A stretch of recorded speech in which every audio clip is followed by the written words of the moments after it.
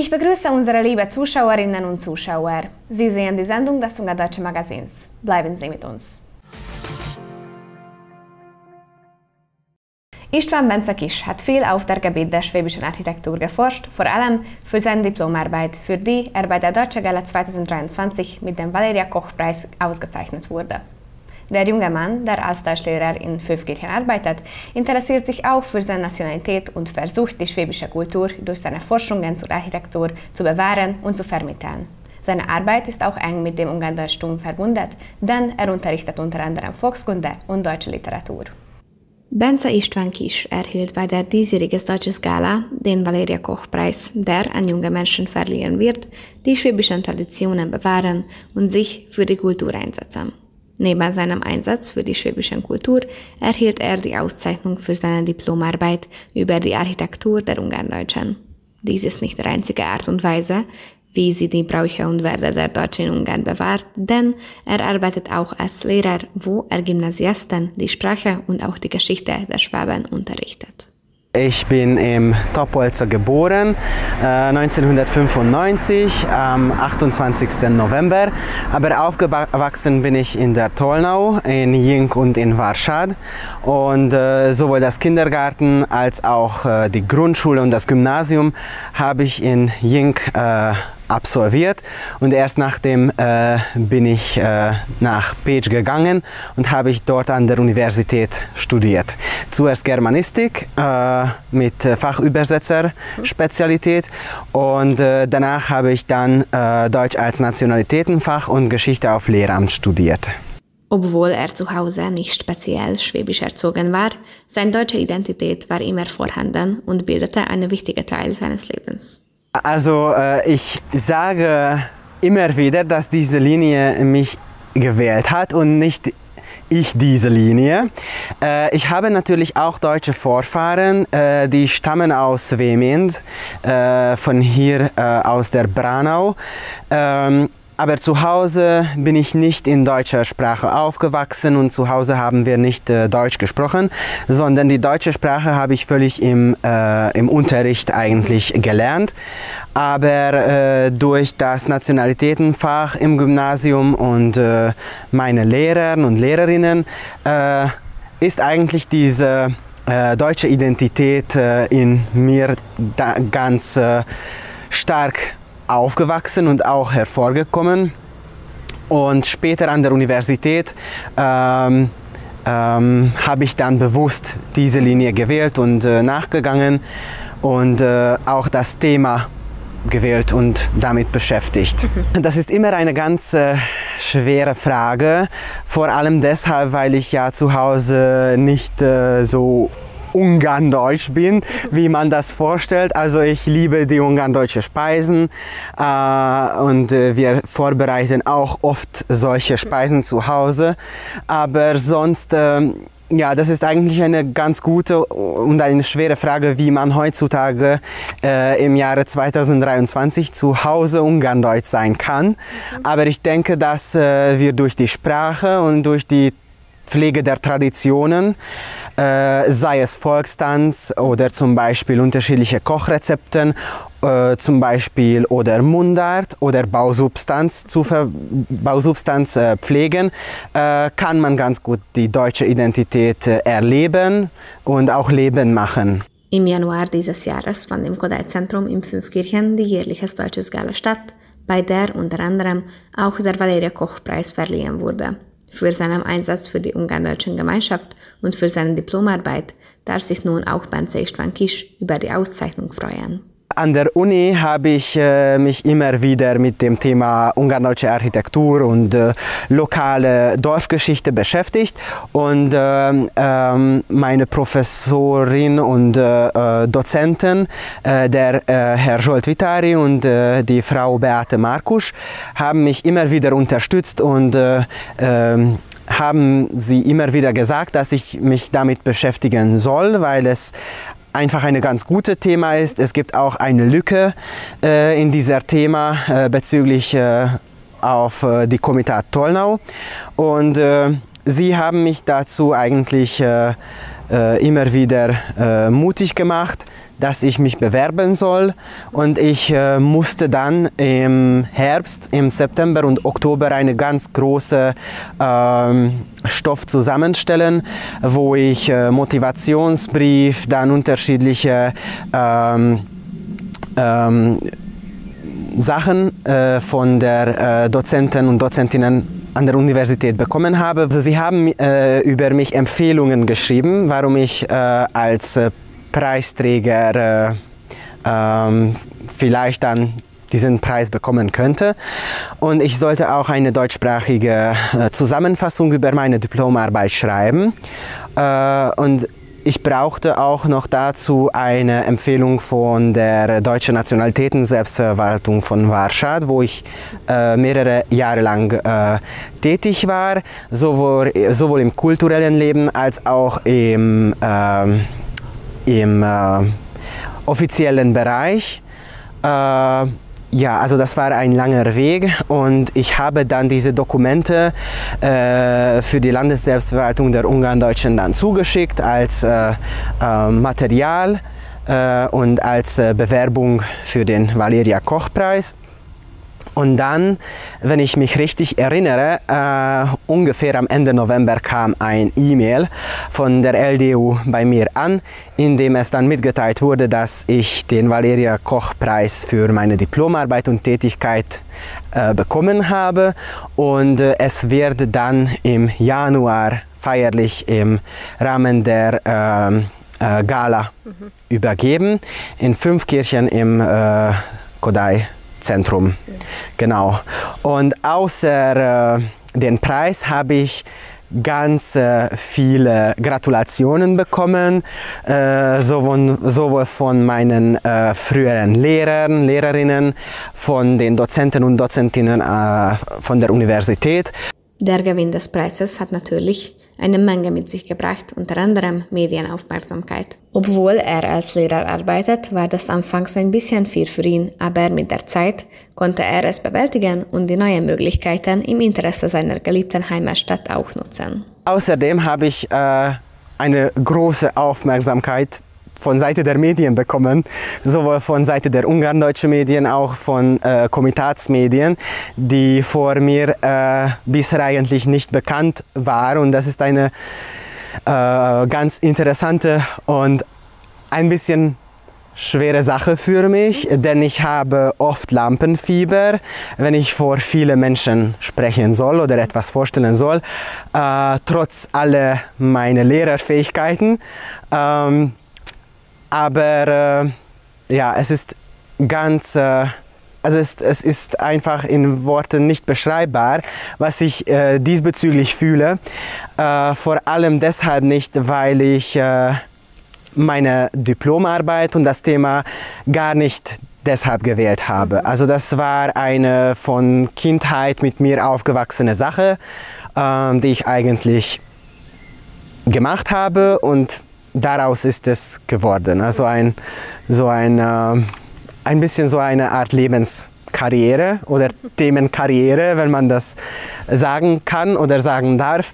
Äh, und ja, ich musste mit dieser Aufmerksamkeit auch lernen, wie ich äh, mit Öffentlichkeit oder mit Medien oder mit äh, Interviews umgehe und natürlich auch äh, dass äh, ich einige Gedanken darüber machen sollte, wie ich damit in der Zukunft weiter beschäftige. Und äh, wie konnte ich dann diese äh, Medienaufmerksamkeit für mein, für mein äh, Dorf, äh, Warschad, ein bisschen positiv mhm. äh, machen, damit das Dorf auch etwas daraus profitiert und zum Beispiel diese Bausubstanzen, die immer wieder mit der Zeit äh, viel mehr verfallener sind, äh, ein bisschen renoviert werden können und dadurch für die äh, nächsten Generationen auch da, da stehen können. Das Thema seiner Dissertation lag ihm schon immer am Herzen und so war es nun natürlich, dass er den größten Teil seiner Recherchieren in Warschau durchführte. Die Diplomarbeit befasst sich mit den Funktionen, einzigartigen Elementen und der Geschichte der schwäbischen Architektur. Das äh, Thema meiner Diplomarbeit äh, oder die, besser gesagt, äh, der Titel war Lokale Perspektiven in der ungarn-deutschen Architektur in Warschau, Raumwahrnehmung, Raumnutzung, die architektonische Entwicklung des Bauernhauses und seine Besonderheiten. Ich habe jetzt äh, der Titel vorgelesen, weil es ein bisschen kompliziert gelungen ist. Ich habe meine Diplomarbeit in ungarischer Sprache geschrieben, weil ich in Fachgeschichte das gemacht habe an der äh, Geschichtslehrstuhl an der Uni und nicht an der deutschen Lehrstuhl. Und ähm, ähm, ich habe schon einige Teile auch in deutscher Sprache früher gehabt, ähm, aber das äh, Zentrumthema oder im Zentrum meiner Diplomarbeit stand äh, eine lokal bezogene äh, Bauarchitekturforschung bezüglich Warschad in der Tolnau, äh, wo ich äh, von, von zur Zeit der Ansiedlung, also von 1700 bis zur 1945 bis zur Vertreibung und Verschleppung der Ungarndeutschen äh, mehr als 200 Jahre ausmacht, habe ich die Bausubstanzen und Wohngebäude untersucht, äh, wie von den ersten Kolonistenhäusern äh, bis zu äh, großen äh, Pfeilerhäusern und unterschiedliche Gassenfronthäusern äh, die Bausubstanz sich entwickelt hatte. Also diese Häuser, die wir hier auch im Hintergrund sehen, äh, denke ich, dass sie schon von einer sogenannten älteren Zeit stammen. Also älteren Zeit äh, verstehe ich äh, zum Vergleich der Ansiedlung, äh, denn die ersten Häuser, die die deutschen Ansiedler gebaut haben, waren die sogenannten Kolonistenhäuser, die noch gar keine Gänge hatten, wie diese äh, Häuser hier im Hintergrund und keine Pfeiler äh, geben oder keine Pfeiler hatten.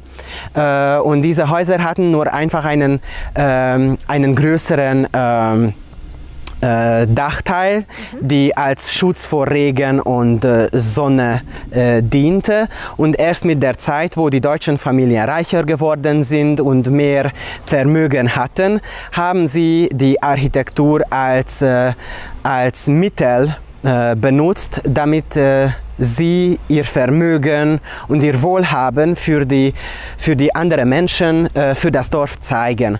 Und wo sie solche große Gänge gebaut haben, haben sie auch das äh, vor äh, Sonnenschutz gebraucht vor äh, Regen natürlich, damit man die äh, unterschiedlichen ähm, Räumlichkeiten äh, mit, äh, äh, mit trockenen Fuß betreten kann. Denn äh, wenn man sieht, sind die meisten deutschen Häuser, wenn man äh, es so sieht. Äh, die meisten sind davon Langhäuser. Das bedeutet, dass die einzelnen Räume hintereinander äh, kommen und äh, wenn, ähm, wenn, ähm, wenn das Hof auch ähm, zugibt, dann baut, baute man die einzelnen Räume hintereinander, sowohl die Wohnstuben und die Wohnräume als auch die Ställe. Und äh, man sieht, dass es äh, mehrere Eingangstüren gab. Äh, eine Eingangstür gab es äh, meistens in Winterküche. Das war meistens die zweite Räumlichkeit von vorne angesehen. Es gab auch eine Tür für die Winterküche, ein bisschen hinter, hinterer, wenn man nach hinten geht. Und dann die weitere Kammer- oder Speisekammertüren, Rauchstubetüren und dann die Türe für die Stelle und die Scheune. Das Ereignis, das die Geschichte der Ungarn-Deutschen bestimmte, die Vertreibung und die Verschleppung, wirkte sich natürlich auch auf das Schicksal der Gebäude aus. Das ist auch eine ganz interessante Frage und von vielen aus der Dorf habe ich schon äh, als Vorschlag bekommen, dass ich diese Frage auch behandeln sollte.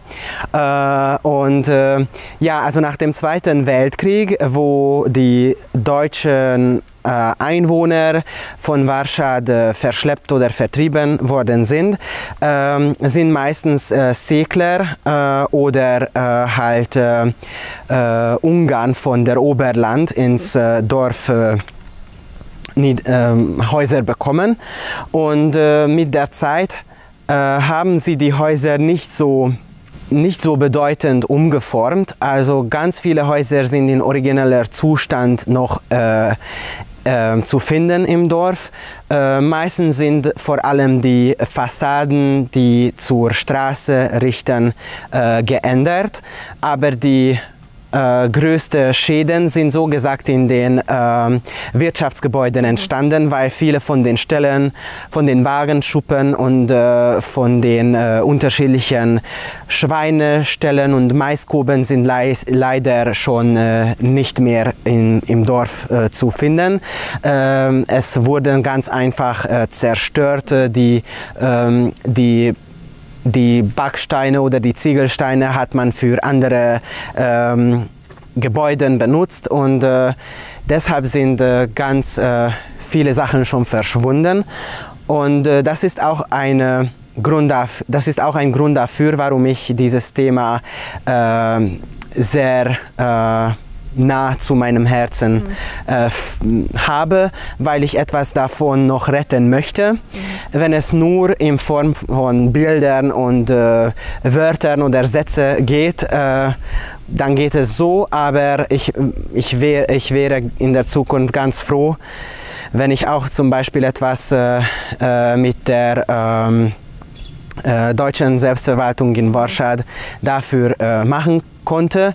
Äh, wir haben ein ganz gutes Beispiel im Dorf, das Heimatsmuseum, die schon mehrere Jahre lang zur äh, unserer äh, deutschen Nationalitäten Selbstverwaltung gehört, äh, hat schon mehrere Erneuerungen und Reno Renovierungen erlebt. Und äh, ja, vor zwei Wochen äh, ist, war die feierliche Übergabe der, der von außen renovierte evangelische Kirche und äh, die völlig sanierte äh, Gemeindehaus, äh, also nicht Gemeindehaus, Entschuldigung, sondern äh, Pfarrerhaus. Ja, aber das, es ist eine ganz äh, wichtige Information dazu, dass diese heutzutage als Pfarrerhaus bezeichnete Haus war damals noch in den ungarndeutschen Zeiten der Lehrerhaus. Mhm. und das äh, echte äh, Pfarrerhaus äh, wurde in den 80er Jahren leider zerstört, ja, äh, nieder, äh, niederge äh, zerstört, ja, weil es mehrere Probleme schon damit gab. Und es ist eine ganz große Verlust Architekt also von Sicht der Architektur ist das ein ganz großer Verlust, äh, denn dieses alte Pfarrerhaus äh, war eine echte äh, und alte Gassenfronthaus, die von äh, Ende der 18. oder Anfang des 19. Jahrhunderts stammte. Architektur ist Teil der Identität, daher ist ihre Vernachlässigung und ihr Verschwinden ein großes Problem. Die Funktionen der altersschwäbischen Häuser haben sich vielleicht nicht an die Bedürfnisse der 21. Jahrhundert angepasst, aber mit genügend Beharrlichkeit ist es möglich, die Struktur und die Vorteile dieser Gebäude an die modernen Bedürfnisse anzupassen und gleichzeitig die kulturelle Wert dieser historischen Häuser zu erhalten. Die Kultur der Ungarndeutschen hängt äh, in, in, in, sehr großer äh, Zusammenhang von der äh, gebauten äh, Substanz und von den Gebäuden. Und äh, deshalb wäre es ganz wichtig, dass man zum Beispiel diese Häuser, Kirchen, öffentliche ähm, Gebäude in alten Zustand erhält oder in alten Form wieder neu baut oder renoviert von außen. Natürlich innen muss man leider schon äh, in den 21. Jahrhundert mehrere Sachen äh, umgestalten, die früher vor 100 oder 150 Jahren nicht gab. Aber äh, eine Volksgruppe bezeichnet sich äh, durch seine Architektur auch äh, sehr maßgebend. Und äh, wenn diese Architektur äh, verloren geht, geht auch ein äh, großer Teil der bestimmten Kultur verloren. Und äh, ja, deshalb wäre es ganz wichtig, dass man diese Bausubstanzen immer wieder pflegt, erneut, renoviert und äh, für die nächsten Generationen weitergibt. Das ist eine interessante ähm, Frage und auch eine Herausforderung für, die, ähm, für diejenigen, die ein solch, solch ein Haus äh, besitzen. Äh, denn von außen äh, sind diese Häuser natürlich oder haben diese Häuser von außen ganz äh, charakteristische Merkmale, die zur äh, ungarndeutschen Architektur gehören. Äh, aber, die, aber wegen der ähm, Grundplan der Häuser und was ich auch vorher schon erwähnt habe, dass die meisten Häuser Langhäuser sind, äh, ist die äh, räumliche Gestaltung der Häuser für die, für die heutige Familien und für die heutige äh, Benutzung ein bisschen eingeengt. Weil heutzutage die Familien immer mehr die großen offene äh, Räume und äh, äh, Zimmer mögen, wo man zum Beispiel äh, Küche, Esszimmer und Wohnzimmer in einer äh, Raum hat. Und diese Häuser haben natürlich separate Räume hintereinander äh, und die einzelnen Räume kann man durch die anderen Räume betreten, was äh, aus Sicht einer Familie nicht so äh, bequem ist weil man nicht so viel äh, Privatraum hat. Mhm. Zum Beispiel äh, zu Hause, also meine Familie zu Hause hat auch ein altes Bauernhaus, aber ein bisschen umgebaut. Äh, aber die ersten äh, drei Zimmern äh, sind noch so vorzufinden, wie auch äh, gebaut sind. Mhm. Und es ist immer ganz unangenehm, wenn man durch die anderen mhm. Räume und andere Zimmer äh, hin und her läuft und man kann nicht so äh, gut dann äh, eine Privatsphäre mhm. ausbauen. Und deshalb kann es eine schwierige Situation verursachen, wie man diese alte äh, Baustücke oder Häuser heutzutage benutzt. Äh, ich denke, durch eine durchgedachte Planung kann man äh, die neuen Funktionen immer wieder ähm, finden.